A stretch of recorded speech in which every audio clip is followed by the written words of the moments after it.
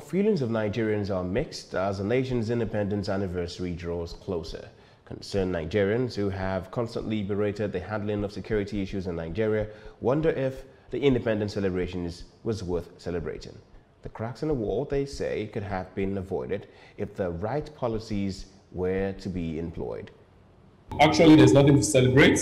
Um, the only message to Nigerians is to get ready as we move into this electioneering fully and to look towards the direction of those of us who have the ideas on how to move. For everything that they met, the APC government doubled it.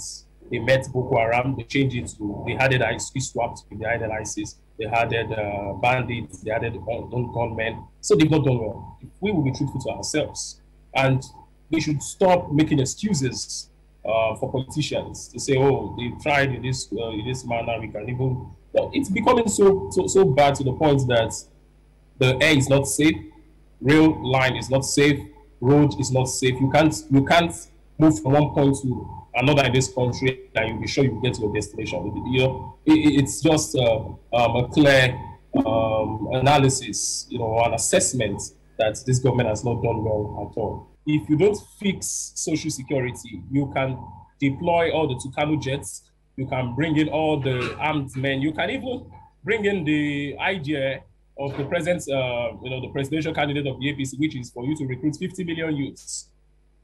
Nothing is going to change because social security remains the basis. As a country, uh, individuals have tried to ensure they are safe. And of course, uh, uh, the capacity we all know it's not enough to manage the security challenges we go through in our everyday lives.